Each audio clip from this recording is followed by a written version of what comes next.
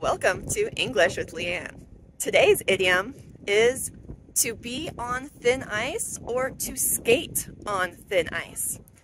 Now, when you think about this idiom and you think about thin ice, when it's really, really cold out and maybe you're on a lake, but there's ice on top. And if it's really thin, it's a little dangerous, right?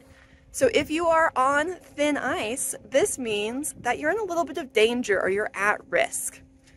And we can say to be on thin ice or to skate on thin ice. Both are correct. A work example might be I keep making mistakes at work. I'm on thin ice.